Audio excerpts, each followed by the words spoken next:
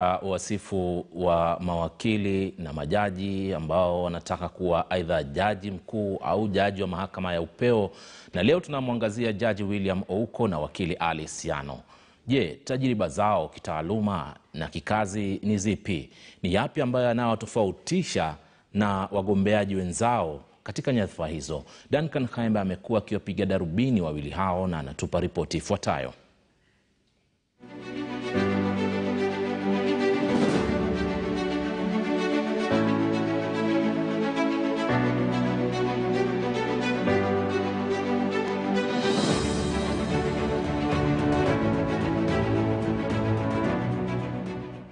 Jaji William Ouko Okello mwenye umri wa miaka 60 na mzaliwa wa Siaya anayo shahada ya sheria kutoka chuo kikuu cha Nairobi na pia shahada ya uzamili yani masters ya masuala ya uhalifu na haki kutoka chuo cha Egerton. William Ouko, a Justice of the Court of Appeal. Akiwa na rekodi ya kufanya kazi katika idara ya mahakama kwa miaka thelathini na mitatu sasa, Ouko anajitokeza kama mojawapo wa wandani katika idara ya mahakama ambaye amejionea mengi. William Ouko aliidhinishwa kuwa wakili mwaka 1987 na akafanya kibarua kwa muda katika kampuni ya wakili Mbogoli Msaga kabla ya kujiunga na idara ya mahakama akiwa hakimu wa wilaya alikopanda madaraka na kuwa naibu msajili wa mahakama kuu mwaka 1989. Mwaka 1997 alipandishwa cheo na kuwa msimamizi mkuu wa mahakama, wadhifa alioushikilia hadi mwaka 2002 alipoteuliwa msajili wa mahakama kuu.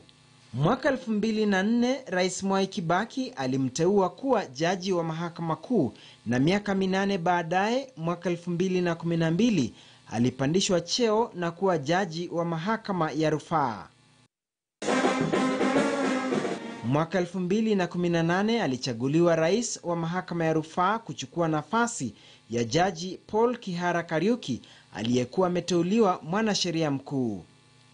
Any, any... Ouko ni miongoni mwa maafisa wakuu mahakamani walioshinikiza Rais Uhuru Kenyatta awateue majaji 41 ambapo kumi kati yao wangehudumu katika mahakama anayosimamia ya rufaa iliyo na upungufu mkubwa, na rais alipokataa kusikia kilio cha jaji mkuu David Maraga na pia chama cha mawakili nchini LSK, Ouko aliamua liwe liwalo na kufunga vituo vyote vya mahakama ya rufaa katika sehemu mbalimbali mbali nchini na kuwarejesha majaji waliosalia jijini Nairobi.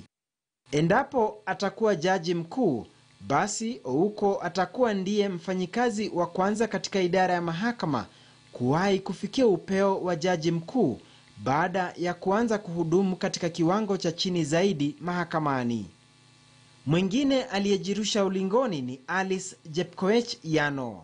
Akiwa na umri wa miaka hamsini na mitatu, Yano anajitokeza kuwa mgombeaji mchanga zaidi kuliko wote kati ya kumi wanaotafuta fursa ya kurithi nafasi ya majaji David Maraga na JB Ojwang walioondoka mahakamani baada ya kugonga umri wa miaka sabini na kustaafu kama jaji.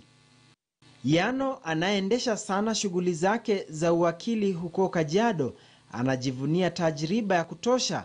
Yano anayeendesha sana shughuli zake za uwakili huko Kajiado anajivunia tajriba ya kutosha ya zaidi ya miaka 25 kikiwepo kipindi alichohudumu akiwa kamishna wa tume ya marekebisho ya katiba CKRC iliyokuwa chini ya Profesa Yash Palgai.